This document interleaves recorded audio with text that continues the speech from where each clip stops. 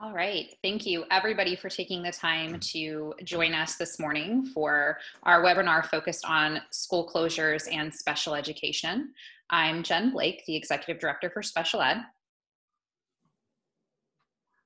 I'm Niku Pogue. I'm the High School Coordinator for Special Education.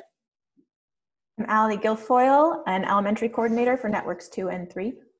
Harry Kaufman, I am the Coordinator of Special Education for the Middle School Network as well as uh, Elementary Network 4. We'll take a couple of moments just to go through our agenda and the content that we'll cover today, and then we will begin our presentation. Uh, so the um, focus for today is going to be on a couple of different points that are specific to special education. Um, the first is to focus on compliance as it pertains to special ed during the time of COVID 19 closures. And we'll give a sense of the guidance we've received from local, state, and federal authorities so far regarding our obligations as it pertains to individual education programs. From there, we will touch on service delivery guidance and the roles and responsibilities for our staff based on the discipline of special education providers. Then we'll move into a section just focused on some of the unknowns. Um, as many of you may be aware, the guidance regarding special education is constantly evolving, and there are some things on which we are awaiting responses from the authorities at a variety of levels. And so we'll touch on what uh, we know currently in our best thinking, and then some of the areas where there may still be some lingering questions that are under further review. Our last section will be focused specifically on support that is available from our central special education team, what our team is working on, and how we can support you in your service to students and families during this difficult time. And then we want to reserve about half of our time today for questions and answers from you all to make sure that you have the information that you need to properly support and serve students with disabilities during our distance learning. So first up is IEP guidance specifically around compliance. And um, I wanted to take a moment to just highlight a couple of overview points before we dive into some more specifics relative to special education compliance. The first thing to note is that IEPs are governed by federal law, and special education is heavily focused on federal guidance as a result. The Individuals with Disabilities Education Act is the primary law that governs special education across all states. And from there, states may issue additional guidance or administrative regulations that are specific to their state above and beyond the provisions of IDEA. Because of that, much of what we will present today relative to IEP guidance is an evolving area under review um, at the federal and at the state level. We do expect that there will be some updates that are quite timely within the next week or so relative to this, and Carrie will touch more on that later in the presentation. The second part is to note that there have only been two highly specific waivers of timelines as they pertain to IEP compliance so far. And we will address exactly what those two are and some recommended guidance for other areas um, that don't have specific guidance from California Department of Education. And then finally, as a result of that, all other timelines and compliance requirements as we speak today are still in effect. We wanted to touch base really quickly on AB 117, um, which was a state law uh, that addressed COVID 19 broadly as it pertains to multiple areas of education, not just special education. Uh, the part of the law that is specific to special education are there's two waivers that I just mentioned. The state has control over some pieces of IEP compliance that are not specifically addressed in IDEA, the federal law. And those are the five day response timeline for requests for records and the 15 day response timeline for responding to any new requests for a special education evaluation.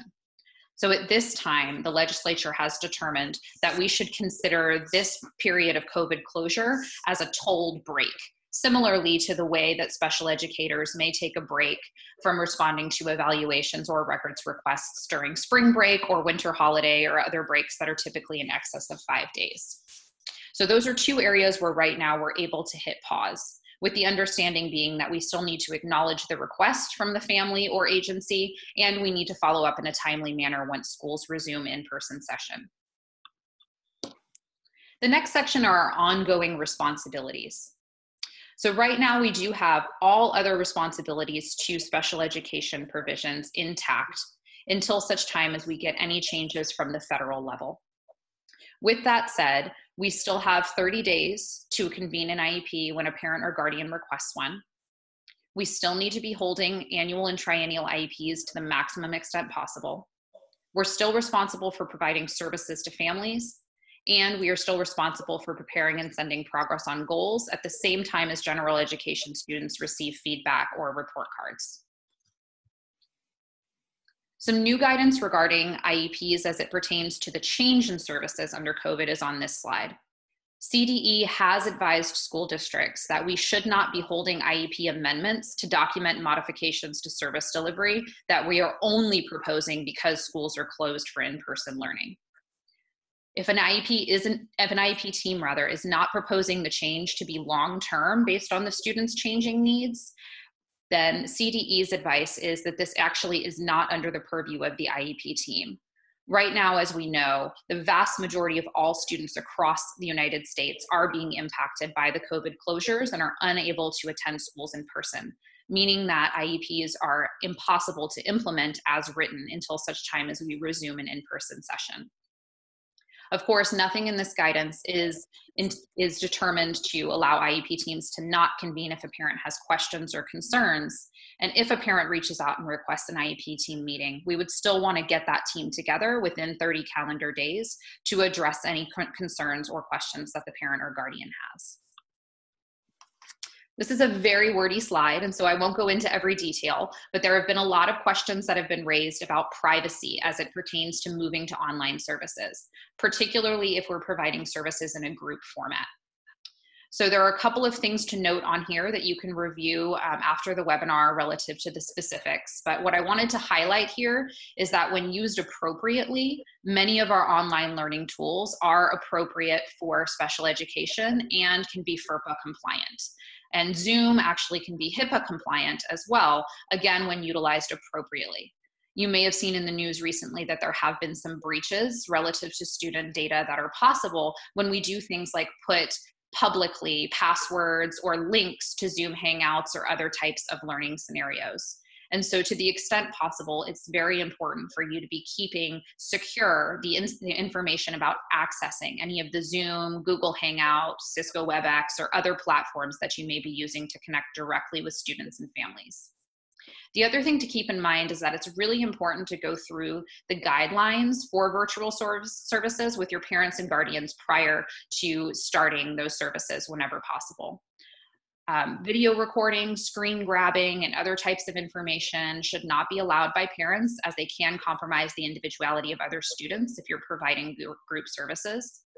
And then we would ask that you follow similar things to what you would do during the regular instructional year when you're meeting with a group. For example, using only first names, um, you know, keeping the student alone in the room to the extent that is possible based on their disability impact, and then specific to our therapeutic services, we would want to make sure that the student is providing consent for anyone else to be in the room with them when a session is happening if it's being conducted via video. The next section has several slides around guidance just for holding IEPs. And I wanted to also mention now that all of this guidance is included in our OUSD special education distance learning guidance document, which we have linked into the slides today and have put forth to everyone um, working within special ed. Um, and we have an if then one pager that we also are sharing with folks to go through some of the more nuanced situations that may occur relative to IEPs. So the first thing to note is that we really recommend that you send an agenda in advance that has norms for virtual meetings. As many of you have probably experienced over the course of the last few weeks, unless you set forth guidelines around Zoom, it can be difficult sometimes for teams to meet in a way that's efficient and allows for everybody to understand what's happening. We also recommend that any district members join the Zoom a few minutes in advance just to test any issues regarding access, make sure everyone can hear everyone and the like. You can use the chat feature of online meetings or a Q&A to make sure that questions that are off topic are recorded, similarly to the way that you might use a parking lot during an in-person IEP meeting. And you can share your screen with a soft copy of the IEP if it's not possible for you to send that draft to the family in advance. Parents do have the right to refuse to attend an IEP right now. And many families are probably feeling very overwhelmed. And frankly, an IEP may be the last thing on their mind. And that is okay. What we're asking is simply that we record opportunities to connect with families around IEPs, make sure those are documented in the comment feature of SACE. And in addition to that, if possible, we would like for parents and guardians to put in writing that they do not want to meet for an IEP until such time as the team is able to convene in person. A text or an email uploaded to SACE is perfectly fine for this purpose. And if a family says verbally to you, I don't want to meet right now, it's too much for me to coordinate, and they don't put it in writing, that's totally fine. The last thing we want to do is be stressing out families by trying to force them to, you know, put things into writing. You would just want to document the date and time on which that call happened, and then we have information to be able to give to the California Department of Education regarding why that IEP isn't taking place within timeline. The other note here is that parents do retain the right to a full IEP team. So we can't be excusing um, LEA representatives, um, you know, that could be an admin or a designee. Um, we can't be excusing general education teachers um, just because we are in a school closure situation if there is a circumstance that requires a team member be excused, like an illness or other unforeseen issue, of course, you can still utilize the excusal form and please send that out in advance to the maximum extent possible so that the parent has the information in advance of who will and will not be present. If a parent doesn't have printing and scanning for the purposes of consent, they can give you an email or a text message documenting their consent they can also give you verbal consent if no written option is available to them, and you can document that in the notes. I did want to name here that many people have reached out relative to electronic or virtual signature options, and the district is exploring adopting a larger version of such options for the purposes of signing a variety of documents, not just in special education. In the meantime, through OUSD Gmail, you should have access to DocuSign for one person to sign a document if you wanted to start using that. Otherwise, you're welcome to just type the names of all of the district providers into the consent page and then send to the parent. If they're able to sign or scan or use DocuSign, great. If not, you can have them just document their consent in any way that is available to them. And the last section here is around guidance pertaining to evaluations. And this, of course, is a very tricky, tricky topic for people because we know a lot of folks have initials and triennials that they were working on at the time we shut down schools. There are some pieces of evaluations that can be done, and we are advising our staff to please do as many pieces of evaluations as you can. If you have a signed assessment plan, you can get started with rating scales, you can do interviews with students and parents, you can begin reviewing records and other district data. There are other portions, of course, that require physical administration. And it's really important that we follow the guidelines and the directions for administration for any standardized normed reference test to make sure that we can interpret the findings with fidelity. It's also really important that we observe students within their educational setting to determine their continued need for special education. And so to that end, we will not be able to complete many of the initials and triennials that are coming up. Uh, we are still awaiting guidance regarding if any evaluation timelines will be waived or forgiven. As it stands today, there have been no such waivers, but there may be in coming weeks. And of course, as guidance changes, we will make sure to keep you guys updated as quickly as possible. So our key takeaway relative to compliance for all of you is really the following. Just do your best. We know that this is not business as usual. We know that there will be IEPs that cannot happen for a variety of factors or cannot be completed for a variety of factors. But to the extent that you're able, please make sure that you're engaging with your family so that they know that you're still there and that we as a district are taking the IEP process seriously, even during this really, really difficult time. Okay, thanks, Jen. And um, now we'll talk a little bit about services and staff roles. Uh, if you want to go to the next slide, great, thanks. Um, so as Jen just mentioned, uh, an overall message um, around services as well is that we're asking folks to do their best. Um, given the school closure and our overall um, reduction of work hours and learning hours, we know that it's not possible to provide services in the way that we normally do when school is in, in, in session. Um, but we are going to continue to do the, our best to implement students' IEPs to the extent that is possible. Um, to do so, we're going to be prioritizing, or we are already, um, student, student and family check-ins. We're keeping the whole child in mind. Um, we're also planning learning activities for students to engage in from home so that their skills can be maintained and or advanced um, during the school closure and um, remind folks to to be um, in collaboration with in coordination with teams to ensure um, sort of co the coherence and that um, the balance of all services is manageable for students who have multiple services and providers. Um, so first speaking to the role specifically of the special educators, special education teachers. As special educators, our, our two main buckets um, are maintained in this setting. So we know that a big part of our work has to do with teaching, instructional time, and another big part of our work has to do with um, case management um, responsibilities.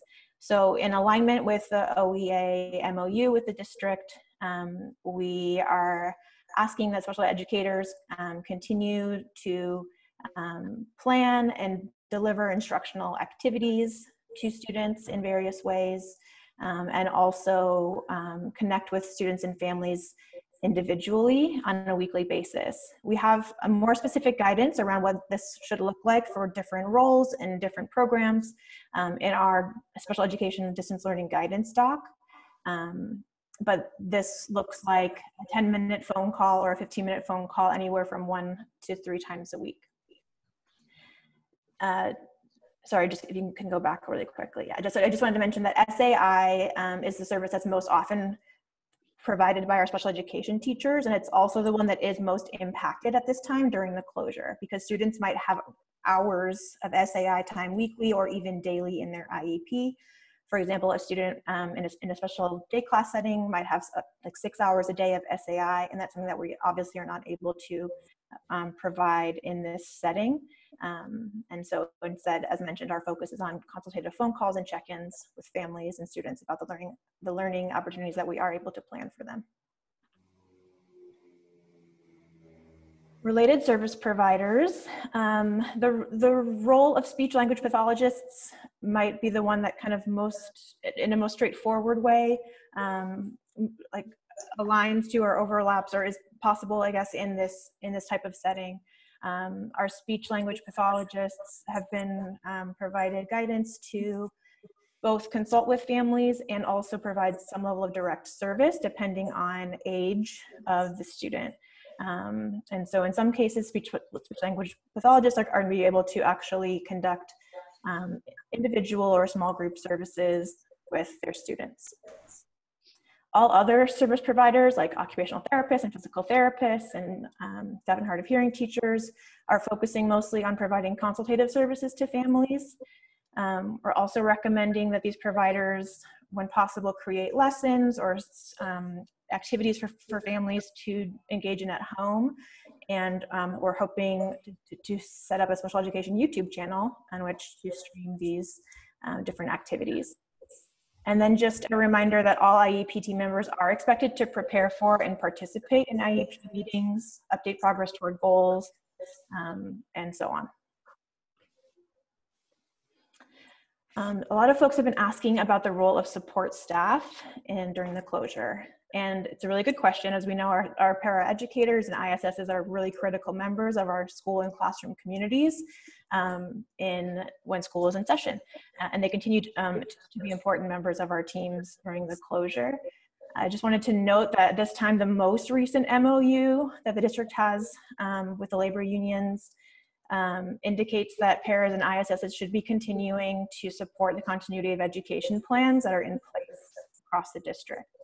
However, I think it is important for us to note and consider that there might be some obstacles. Um, support staff, for example, are not generally issued OUSD technology. And so um, it is in the works that once all students in need are distributed technology that support staff in need will also be provided district technology. And in the meantime, support staff are generously, when possible, using their personal technology and internet to support distance learning activities. Um, and also wanted to note that just like when we're in the school building and school is in session, we should not be expecting or assigning support staff to be working like uh, um, individual, like alone with students outside of the direction of a credentialed teacher. They certainly can be pushing into Zoom calls um, that, and, and lessons and classes that teachers are holding. They can support breakout groups. However, they should not be assigned to make individual phone or video calls on their own. Um, and then we do have, in addition, I mean, in this time we are taking responsibility. Oops, there's a little feedback. Um, in this time, we all we all are taking responsibility for checking in on student wellness um, and family wellness and health. Um, however, we do have some folks who are who, who hold a primary um, who for whom that is their primary um, responsibility during the school year, um, and those folks are continuing to check in with students and families at this time. So students who do have educationally related mental health services should have continued offers of service and support throughout the closure from their providers. Um, our non-public agency partners like Seneca and EBAC and Lincoln, et cetera, um, are reaching out to families, doing check-ins, doing therapy, teletherapy, um, and they're also providing um, support to families with delivering food, diaper supplies um, that are needed our RBTs and licensed vocational nurses who work with students individually, um, often in classroom settings, um, are also checking in daily um, with families to support the development and implementation of at-home behavior or health plans for students. Our OUSD social workers and school psychologists um, also are continuing to provide individual and or group mental health services and checking in with students on their caseloads.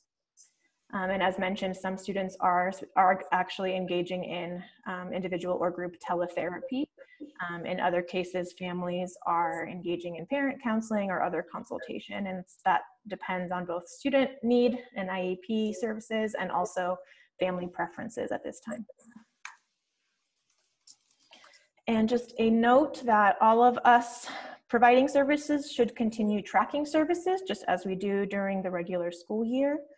Um, teachers and providers can track their services and their attempts at services in the Master Distance Learning Tracking document that was shared at the start of the closure. Um, and we should all be continuing to make attempts in good faith to reach students and families. However, we know that we're not going to be able to reach everyone at this time for various reasons. And so if after multiple attempts you've not been able to make contact with a student or family, um, you can reach out with a letter and we'll be providing a template from our department to support with that. Thank you, Ali. Uh, we're going to switch over to areas under further review, which to me is uh, the stuff where we're not yet clear about based on state or federal guidance. So we're waiting for some clarity on that. Um, when we start this conversation, the first thing we look at is the CARES Act, which was the uh, stimulus bill uh, for coronavirus. Um, in that bill, it talked about allowing uh, the Secretary of Education to make recommendations for waivers. Um, there's also um, the National Association of Schools Directors of Special Ed have, um, as well as many other organizations, have written to Congress and written to the Secretary of Education at the federal and the state level asking for different specific waivers to be granted around IEP compliance. Um, because like Jen said, the only waivers we currently have are around 15 days for new assessments and five days for requests for records. So all other timelines are in effect as of now. Um, so that's the, the, the bottom of that is kind of the, the law written in um, into the, the CARES Act. And I'm not going to read it, but um, um, you will be able to read it when you get access to this. The implications further, um, uh, the Secretary of Education does have 30 days from the signage of the, of the act, which was March 27th, to make those recommendations for waivers, and there is an expectation. And without them, we really are, we don't have guidance on what to do when we can't conduct an assessment because children are at home. Um, so we're really hoping for some clarity at the federal and state level around um, IEP compliance, um, at least uh, the procedural stuff. When, um, next slide. When we look at um, our district, um, we have diagnostic center that does our preschool evaluations. We also have current evaluations that are in session uh, that are in progress. Like I said, there is no clear waiver of the 60 day timeline for assessments. However, if we have not conduct completed the assessment, it requires in-person testing. Then we we have advised that we cannot complete uh, the assessment until in-person sessions continue. Um, we can reflect on what has been completed to determine if our testing is enough to determine eligibility and move forward with an IEP or not. And like uh, Jen said, we are developing an if-then one-pager that is very focused around um, holding IEPs, when, when it would be appropriate to hold it or when we should wait until um, schools uh, open up back in session uh, in person. Um, because there are no waivers. Uh, there's also no waivers for kids turning three as of now, which is a preschool um, specific uh, issue. Uh, all those assessments require in-person testing and we have to assess and determine eligibility for a child on or before their third birthday. So there's ongoing stream of students that we're supposed to be testing and there is no clear waiver um, for that as of now. There is also um, no clear guidance from the state or the federal level on what specifically distance learning should look like. We've uh, heard from the state, we've been to webinars about what other districts are doing successfully and what um, we've talked to multiple different districts about this, but there isn't a clear um, guidance from the federal or state government on that. Um, there is no there's a recommendation against amending IEPs uh, because this is not um, a change that we're proposing. It's a health emergency that's requiring this. However, there might need to be an amendment to discuss the appropriateness of distance learning for students with unique needs. Um, there is going to be an overall of overall decrease of services for almost every student. So it's not clear how we're going to rectify that. OSEP, which is the Office of Special Education Programs uh, federally, uh, re- they release letters um, that are actually usually legally binding letters that they release. And they released a letter uh, discussing what compensatory education would look like in this in this uh, time of closures and the way that they were uh, trying to um, envision what compensatory education would look like is more around how we examine extended school year. So typical compensatory education would be if we miss services, we have to provide it, you know, have to make it up but the Office of Special Education Programs felt like once school comes back in session, we would want to collect data to see um, if a student significantly reg- regressed over the significant closure. And if there was significant regression, we might want to look at providing them um, extra services in order to get them to where they were or to um, provide them uh, support in order to, to decrease their regression.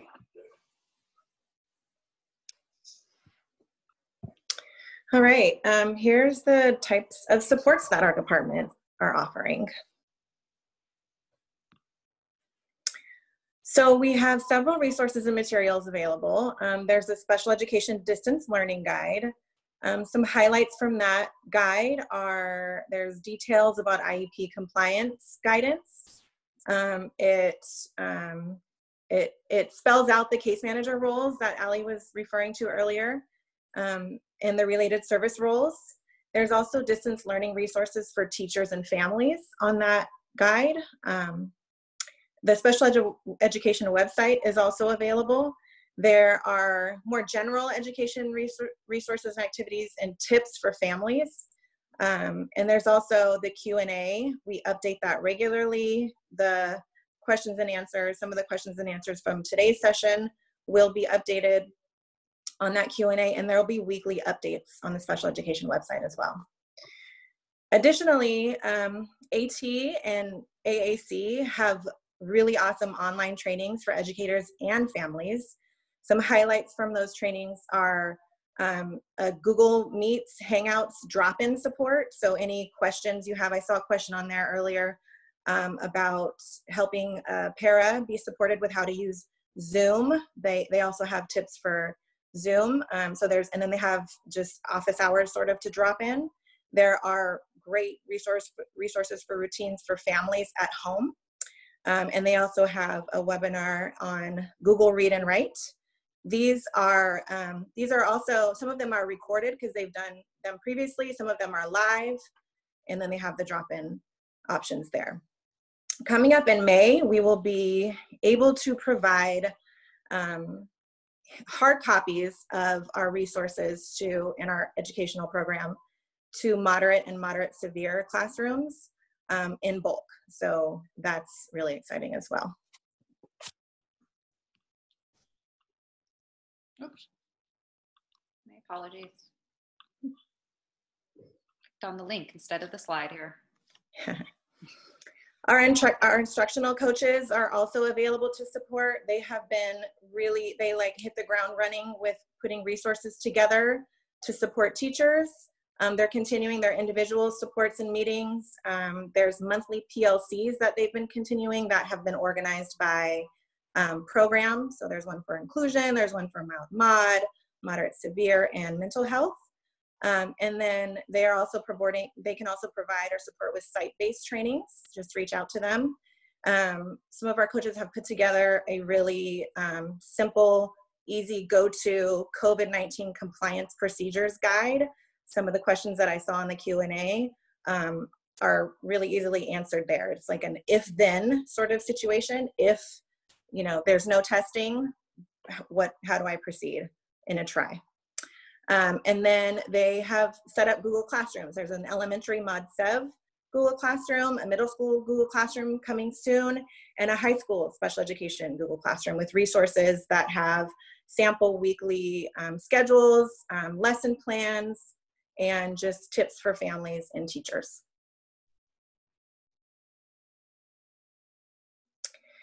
Um, guidance from special education leadership. So we continue to manage and maintain these guidance docs I just discussed, our special education website. Um, we are available to consult with district and site administrators. Um, we um, help maintain the Teacher Central and Google Classroom creation and maintenance. Um, and then uh, we also collaborate with and gather information and resources from other districts and SELPAs in the Bay Area in California. Um, we, the SELPAs have been really active in supporting each other with what to do during this time and how to interpret um, direction coming from the state, from the federal. Um, and so we've been really, really coming together to support each other. Um, there's also communication coming soon um, to families with a robocall and letters that are in multiple languages next week. And then um, we will be doing weekly email blasts to teachers and administrators from our special education email address. Um, addition, so just a little bit more details about the direct communication to families are we're asking our teachers based on the program that they teach to um, directly consult with families. So resource students, it's 15 minutes a week per family or per student. Um, mild, moderate, and counseling enriched SDC students are supposed to receive two 15 minute phone calls or Zoom meetings, um, just consulting. And then moderate and moderate severe SDC students is three 10 minute um, sessions a week. And then, um, the, like I mentioned, the robocall coming up. And then, and this will really be directing our families towards our website and resources there and any other district resources that are available. And for for family requests, this one is really important, in which the response is not obvious or known. Please follow up immediately with the instructional coach or the appropriate coordinator so that we can respond in a timely fashion as legally required. Um, for example, if, if someone asks in an IEP meeting or emails an administrator and says, can, some, can the nurse come to my house to provide services for my child? We need to know that the family has asked that question so we can respond appropriately. Um, if somebody asks, can, you know, what what's going to happen? Can I get makeup services? Can I get comp services? Can I get makeup services for all this time my student is missing, my child is missing? So those are questions we need to know are being asked and so that we can respond quickly. And we have a poll. Um, we, we're really curious what other resources you would like from us during this time. So I think Kelleth is going to post the poll, and um, please feel free to answer. Um, compliance and IEP case management, instructional materials and resources, utilizing district adopted platforms, and family and student outreach. What more support could you use from us? Okay, and uh, while we're doing that, I wanted to take a moment to introduce uh, another panelist that has joined us. Um, Anne Zarnowicki is our coordinator for related services um, and is here for the last portion of our agenda to ensure that any questions regarding our related services teams, our speech pathologists, occupational therapists, adaptive PE specialists, and the like, are addressed by the person who knows and works with them best.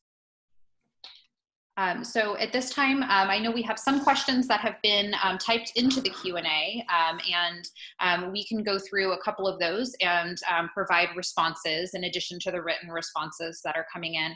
And then we will also have time for any specific questions not already typed in from participants. And so I do see a couple of questions here that I wanted to um, just get started with um, regarding um, extended school year, because I know that is on a lot of folks' minds. Um, right now, we are planning as though extended school year will be in person.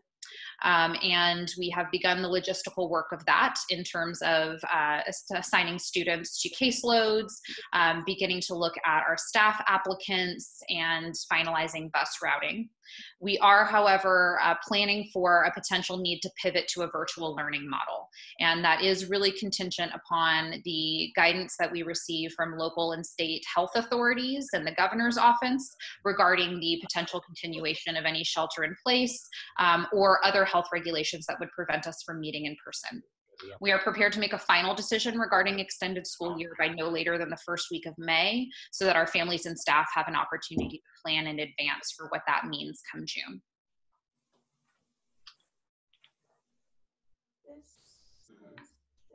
There are multiple questions about the slide deck. We will obviously make sure we get it to you guys in some form or fashion that is uh, viewable so you can use the links as well as other things uh, that are in the slide deck or distribute it to, to your support staff, stuff like that. You missed the, the thing in English yesterday.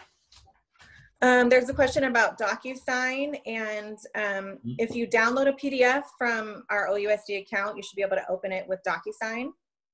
Um, one signature is free, and our accounts currently provide a few multiple signatures for free as well. There's also DocHub, which is one of the Google add-ons that also has some access to free signatures. Why don't you text Lauren and let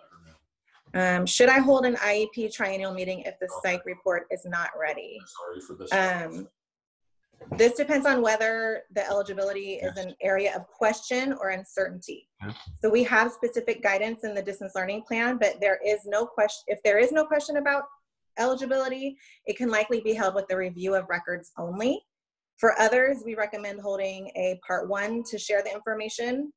Um, you do have to let the family know we will need to reconvene in the, in the future. All right. Question about our, oops, sorry, Jen, just quickly, our website. Um, you can find our website at, o- at ousd.org slash special education. You can also find it by going to the OUSD website, ousd.org, um, and going and searching under departments, special education. We've had a number of questions around uh, further clarification about the roles of support staff, our paraeducators and instructional support specialists. Um, if you have worked with your support staff to assign them functions such as providing check-ins via phone with students um, or families, that's totally fine. Um, providing wellness checks, just maintaining ongoing communication, um, making sure that the student has access to instructional materials. Those types of checks are completely appropriate for school staff to support staff to be engaging in. Um, what we would ask that you refrain from asking support staff to do is providing any direct academic instruction uh, with students without the, um, the guidance and direction of a teacher. Um, and so some roles that are totally acceptable would be having a para or ISS do push-in services into a Zoom classroom with a general education teacher, um, or perhaps using a breakout room within Zoom to work with a small group of students while the gen ed teacher is providing that guidance around the particular lesson or topic. It's also perfectly fine for your para or ISS to join you in providing services. Um, we would just ask that you don't direct them to um, completely on their own um, be setting up any type of video um, consultation with families around specialized academic instruction or providing those direct services to students solo. Mhm. Did you text her? Yeah. Does it seem likely that we'll be required to report progress on IEP goals for the third trimester? Um, so given that report cards are comment only, um, so legally, progress on goals is required for all students whenever gen ed students receive their report cards.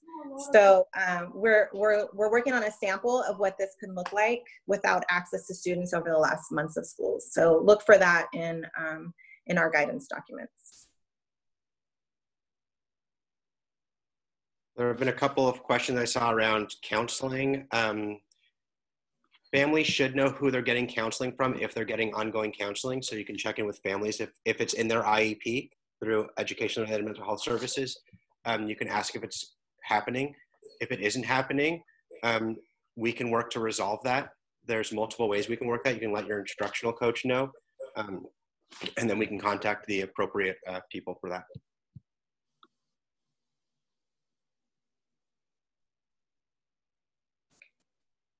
So there's a question about um, how can you find out which agency is providing ERMHS outpatient counseling to students? Um, the those that information should be should be determined at the IEP meeting. Um, so the case manager should have that information. If you have questions um, as a teacher, feel free to reach out to a coach. Um, and RS, our RS is responsible for making sure the agencies are connecting. Um, it, RSs are responsible for uh, checking in to, to see if those services are happening, if they have contact with families.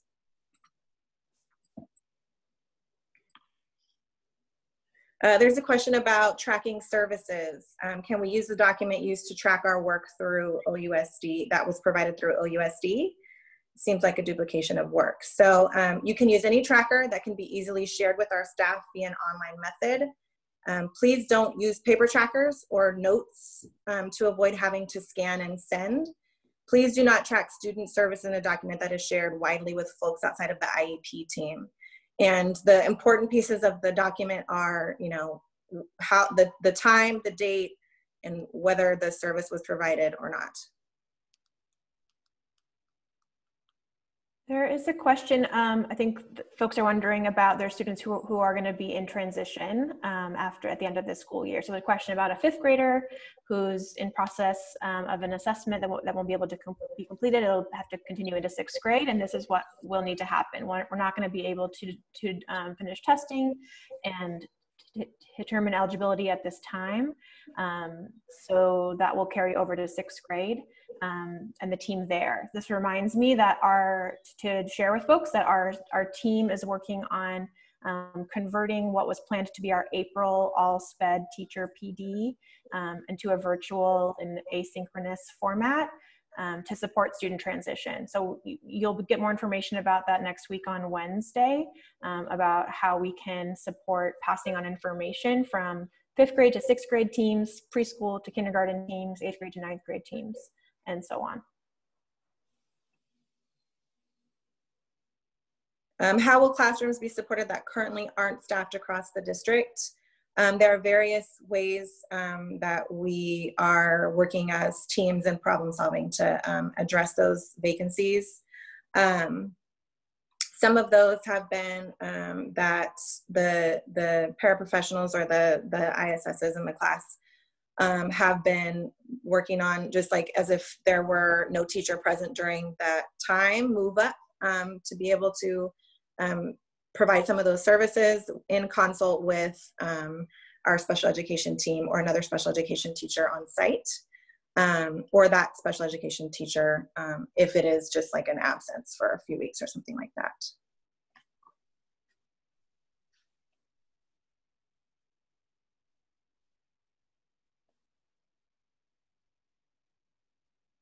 Compensatory education question how are we to demonstrate that a child needs this year's esy without actually seeing the child before next school year?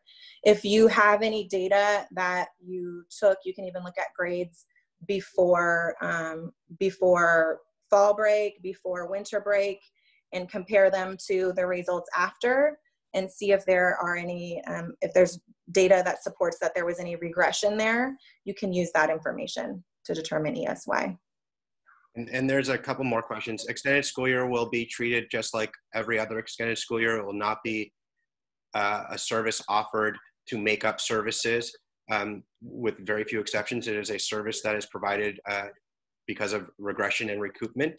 Um, and that has not changed because of this closure. So it will not be blanketly offered to, to students. It will be offered to students that meet um, the criteria for extended school year. I see this. Does Zoom meeting with several students meet the 15 minute consult for each student? Yes, that's an easy one.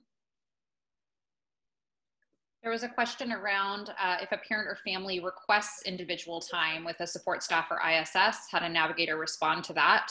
Um, my recommendation would be to uh, explain to the family that we need to be aligning our supports based on the core roles and duties that are appropriate to each type of personnel um, and that every different type of job classification within Oakland Unified School District has specific core duties. Um, and while um, our support staff are obviously incredibly valuable resources, um, they are not expected during typical instruction to be providing um, instruction outside of the guidance and support of a certificated staff member. And so, in a situation such as a school closure, we would want to make sure that we're not having them perform fu functions that we would not ask of them during regular instruction. And if, of course, there is a parent who continues to ask follow-up questions regarding, um, you know, that type of a situation, you're welcome to, um, you know, connect with your instructional coach or one of us um, to provide additional guidance and information to that family.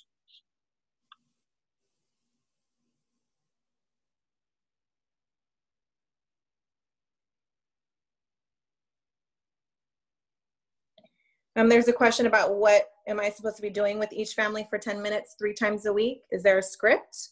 Um, you can look at the the moderate severe um, Google Classrooms, and we we can post some some support for those conversations um, in next week. Um, but generally, it's going to depend on each student. Um, it's really kind of you know it, engaging in su suggestions for how to engage students, like um, you know, in, in activities that you're putting on your, you're suggesting in your Google Classroom at home. Um, we're not expecting parents to be teachers. Um, and then really just getting feedback from them. Um, what are their needs? Um, and, and how, and getting more information about how they can be supported.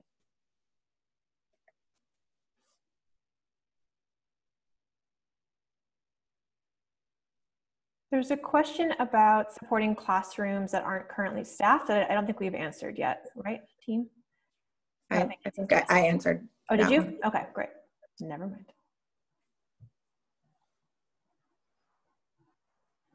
Hmm.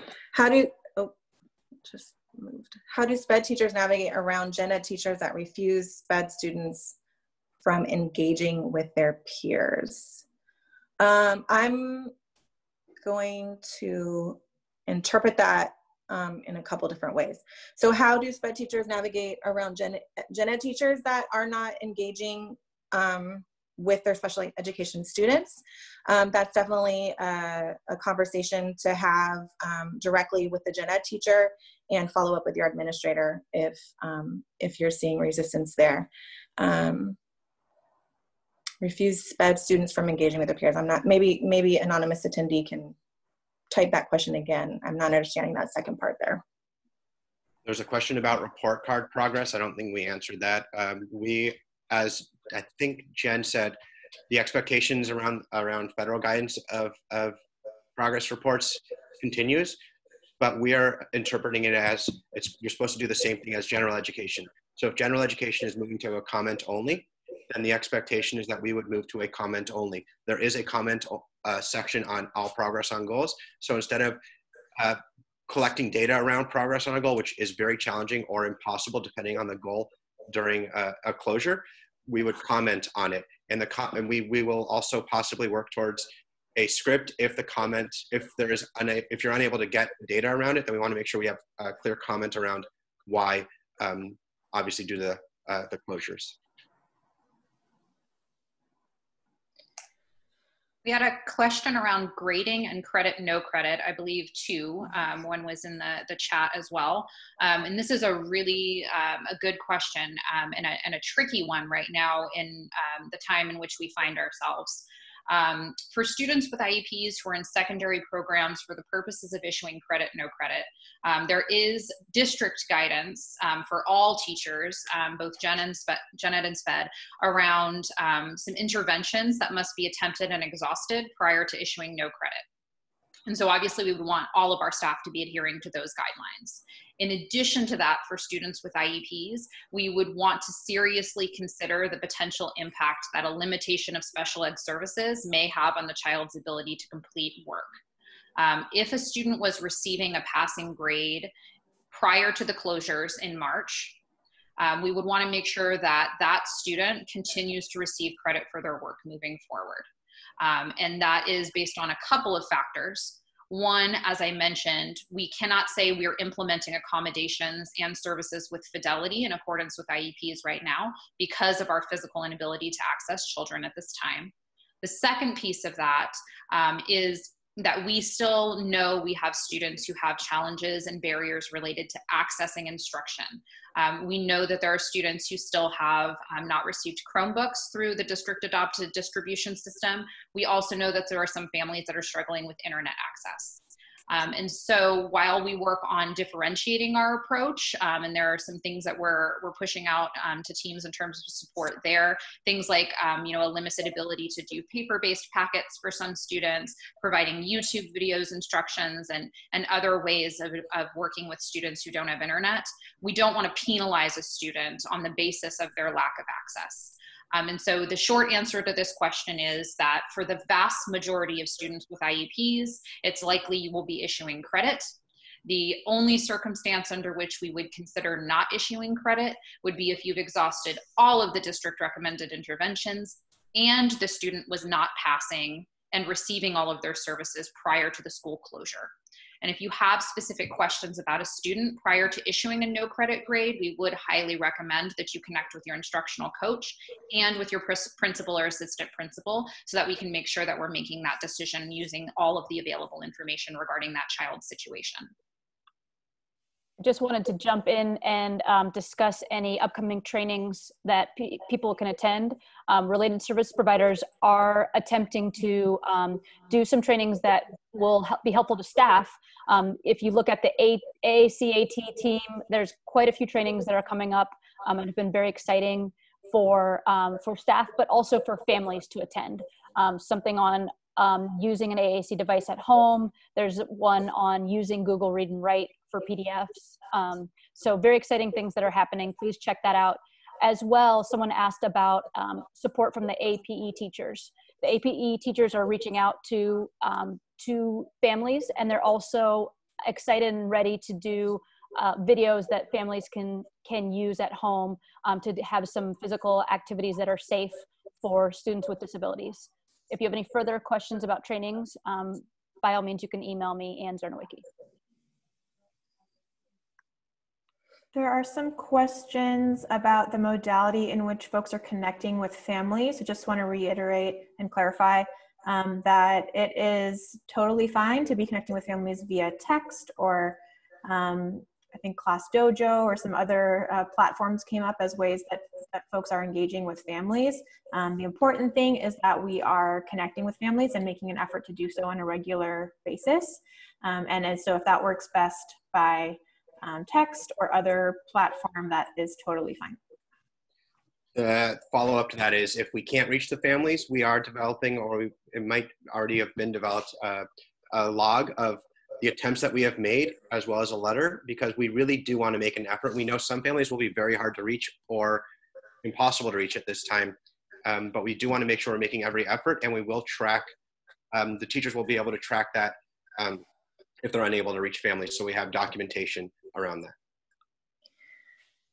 Um, there were, I saw a few questions around students who are sad and are having a difficult time not being at school.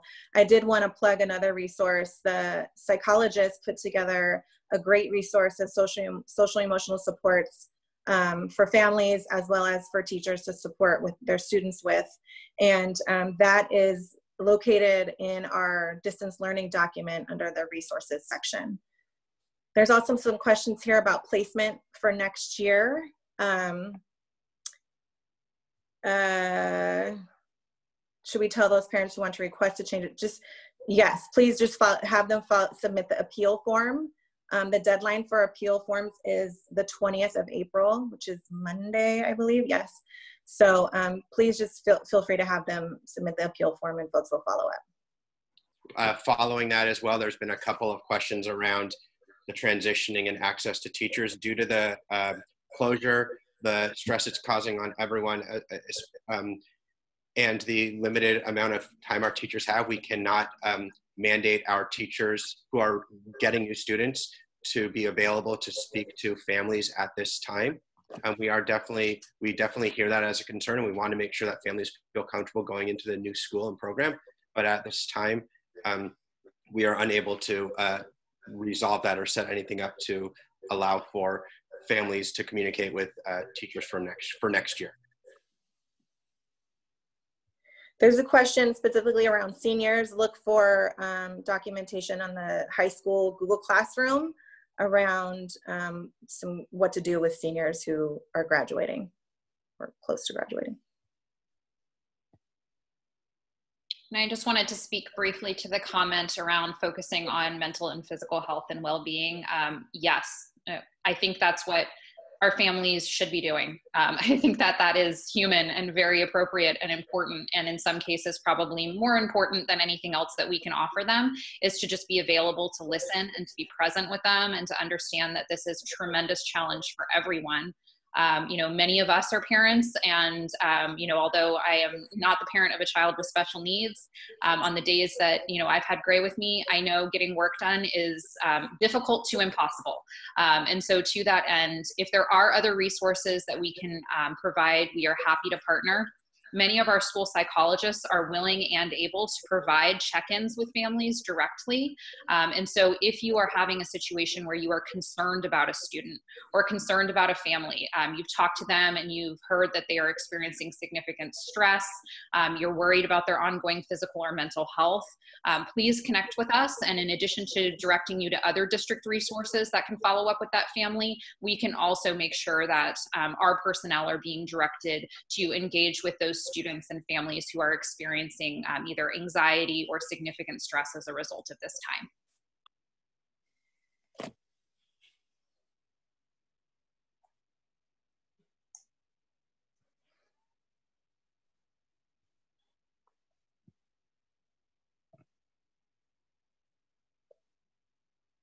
We do have a number of questions um, remaining and not much time. Um, so I just want to perhaps kind of start closing up um, by reminding folks to check out our special education distance learning guidance document, um, which is available through the, the, the master kind of um, COVID doc that went out from Sandra. Also um, has been shared with you in other ways. And if you are having trouble finding it, you can email one of us to let us know and we can get that in your hands.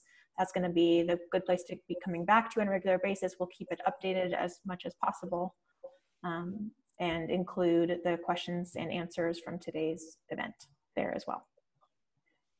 Any of the questions that we have not been able to address uh, virtually. Um, as Ali mentioned, we will make sure that we provide written responses to all of those. In addition to the um, special education distance learning document, we are trying to have a universal design approach um, relative to communicating at this time. Um, so starting next week, every week until the close of school year, um, I will also be putting out a um, video message to all of our special education personnel that highlights some of the key things that have been coming up, either changes in guidance or new resources and tools that we're making. Um, so please be on the lookout for that Monday and then every Monday um, subsequently until the close of May. Um, we really want to thank you all again for your um, participation in today's webinar. Um, please be on the lookout for those Q&As that will be uploaded by the end of the day today with anything that we didn't have time to address. Thank you, Kelleth, for all of the tremendous work behind the scenes, arranging all of these webinars so that folks can engage with one another, even though we can't be with each other in person.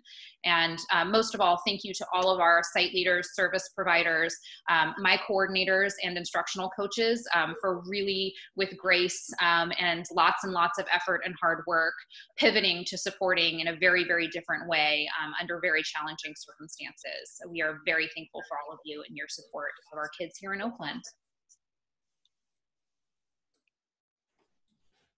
All right, thank you, everyone. We are at 12 o'clock, so it looks like we will end officially right now. Want to thank everyone for joining and um, have a great day. We um, can stick around just for a second just to make sure that we've got, um, that we can uh, wrap up with the participants. And um, thanks, everyone.